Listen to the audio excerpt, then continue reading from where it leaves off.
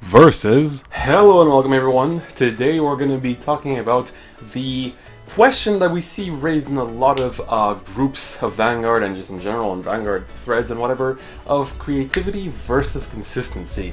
And this is going to be in relation to choosing decks for tournaments. So not deck building, but just choosing what deck you want to play. First of all, let's go over consistency. In my opinion, this is the easier explanation because it's pretty self-explanatory, but the obvious pros of it. One is that the deck is always well tested, and it's not just well tested by you, it's well tested by a lot of people. You see it in a lot of, you know, tournament results like Nightrose or Gear Chronicle, you know, that kind of thing. And it's also known to perform well. It has a lot of good matchups and less bad ones, and because you're aware of all this, it's a well-tested deck, and therefore you can feel pretty safe taking it into regionals because, you know, you've got, as long as you've got preparation with that good deck, you're usually going to be fighting against a lot of matchups. Now, the main cons of it are that everyone prepares against it.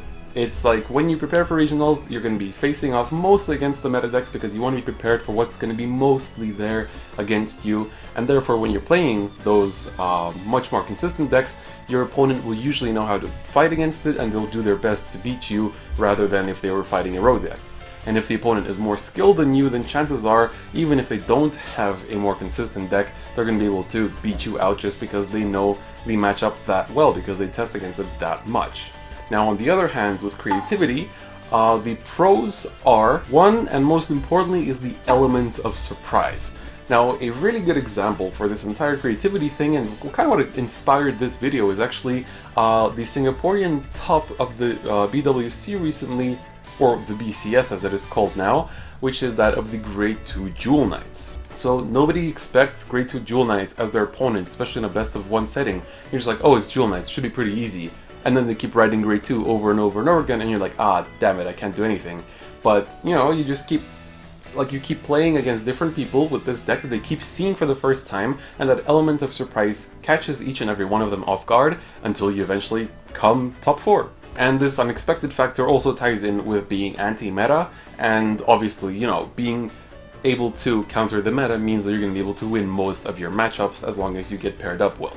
Now the cons are that after this first impact of the first surprise, it really is not that good anymore. Because when you play the same creative deck over and over and over again, your opponents just get adapted to it. Or for example, even though it won in Singapore, people in other regions are trying the same deck and they're like, oh, this isn't doing anything.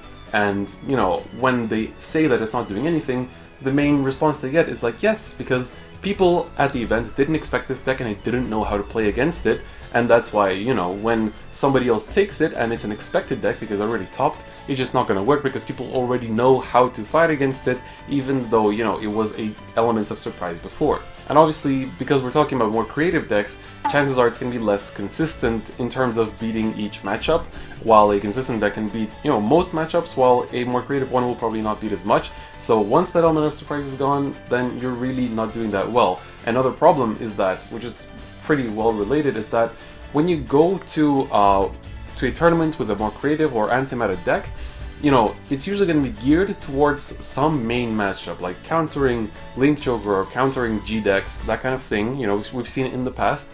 And then it's going to do well if you keep facing off against the opponents that you prepared this deck against. But if you keep fighting random rogue decks that use limit breaks, you know, then you're not going to be doing that well either. So these are like the two kind of opposing sides and their pros and cons, but it is possible for the two to mix. So for example, if you use like a very common starter for like, you know, any kind of clan, like whether it's Granblue or Gear Chronicle, and then you, you know, you start off kind of similar to how other decks, other con consistent decks of the same clan start, and then like your upper grades like grade 2s and grade 3s are different and your strides are different and then your opponent gets completely caught off because they thought they were fighting against one deck and suddenly you changed all their expectations and they're fighting against something else. So I hope this uh, kind of like a discussion more than anything uh, helps to understand the differences between you know a consistent deck and a much more creative deck and you know kind of it might seem a bit self-explanatory but you know I still felt like it was worth getting it out there.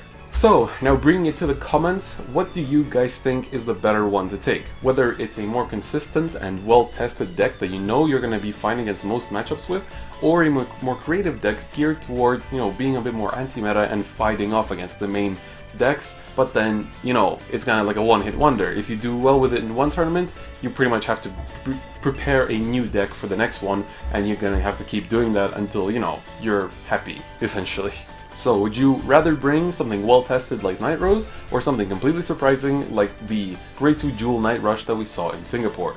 Make sure to let me know in the comments and I will be reading through them as well. So this is just a little topic that I wanted to kind of go through with you guys. I felt like after the Singapore results came up with the Jewel Knight uh, Grade 2 Rush, I really wanted to, to talk about this topic because it's been done before, but you know, it's still kind of interesting, so I thought you might, guys might enjoy it as well.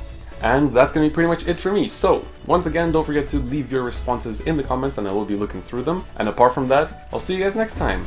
Bye bye.